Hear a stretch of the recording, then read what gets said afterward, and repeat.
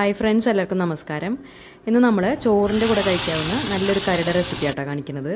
എളുപ്പത്തിൽ ഉണ്ടാക്കിയെടുക്കാവുന്ന നാടൻ രീതിയിലുള്ള ഒരു കറിയാണ്. അപ്പോൾ അതിന് വേണ്ടിയിട്ട് ഇതുപോലെ ഒരു കഷ്ണം ചൊരക്കെടുത്തിട്ടുണ്ട് ഇതൊരു അരക്കിലോ കിലോ ഒക്കെ ഉണ്ടാവും. അപ്പോൾ ആദ്യം അതിന്റെ തൊലിയും ഉള്ളിലെ കുരുവൊക്കെ മാറ്റിയതിന് ശേഷം ഇതുപോലെ ഒന്ന് കഷ്ണങ്ങളാക്കി എടുക്കുക ഈ ഒരു വലുപ്പത്തിലൊക്കെ ഒന്ന് കട്ട് ചെയ്തെടുക്കുക. കട്ട് ചെയ്തതിന് ശേഷം ഇതൊരു രണ്ട് കപ്പ് അളവിലാണ് ഉണ്ടായിരുന്നത്. ഇനി ആദ്യം അതിലേക്ക് ഒരു ചെറിയ സവാള അതുപോലെ നീളത്തിൽ കട്ട് ചെയ്തതും ഒരു മീഡിയം വലുപ്പത്തിലുള്ള തക്കാളി ചെറുതായി അരിഞ്ഞതും പിന്നെ കുറച്ച് കറിവേപ്പിലയും ചേർത്ത് കൊടുക്കാം. അതിനുശേഷം പിന്നെ അതിലേക്ക് അര ടീസ്പൂൺ മഞ്ഞൾപ്പൊടിയും ഒരു ടീസ്പൂൺ മുളക് പൊടിയും ചേർത്ത് കൊടുത്തിട്ടുണ്ട്. എരിവുള്ള മുളക് പൊടി.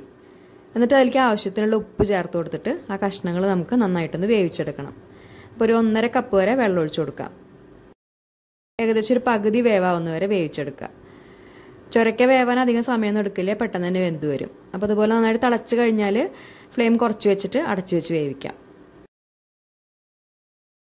അപ്പോൾ ആ സമയം കൊണ്ട് നമുക്കിനി ഇതിലേക്ക് വേണ്ടിയിട്ടുള്ളൊരു അരപ്പ് റെഡിയാക്കി എടുക്കാം. അപ്പോൾ അതിന് വേണ്ടിയിട്ട് മിക്സിയുടെ ജാറിലേക്ക് ഒരു അരക്കപ്പ് നാളികേരം ചെറുകിയതും രണ്ട് പച്ചമുളകും ഒരു അര ടീസ്പൂൺ ജീരകവും ചേർത്ത് കൊടുക്കാം. നല്ല ജീരകം. പച്ചമുളകിന്റെ അളവ് എരിവിനനുസരിച്ച് ചേർക്കുക. എന്നിട്ട് അതിലേക്ക് കുറച്ച് വെള്ളം ഒഴിച്ചു കൊടുത്തിട്ട് ഇതൊന്ന് അരച്ചെടുക്കാം. ഒരുപാട് അങ്ങോട്ട് ഫൈനായിട്ടൊന്നും അരയണമെന്നില്ല. ഈ ഒരു പരുവത്തിലൊക്കെ ഒന്ന് അരച്ചെടുത്താൽ മതി. ചെറുതായിട്ട് ഇതുപോലെ തരിതരിപ്പായിട്ടൊന്ന് അരച്ചെടുക്കുക അപ്പോൾ ഈ സമയം കൊണ്ട് നമ്മുടെ കഷ്ണങ്ങളൊക്കെ ഒന്ന് വെന്ത് വന്നിട്ടുണ്ട്. നല്ല സോഫ്റ്റ് ആയിട്ട് വന്നിട്ടുണ്ട്.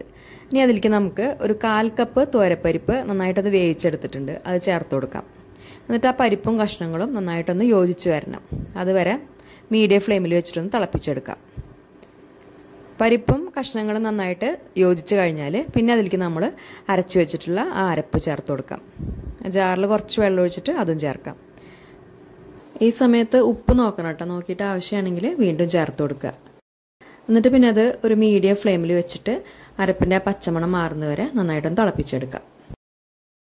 അപ്പോൾ ചട്ടി ആയതുകൊണ്ട് ഇതുപോലെ ഏകദേശം തിളച്ച് വന്നാൽ തന്നെ ഫ്ലെയിം ഓഫ് ചെയ്യാം.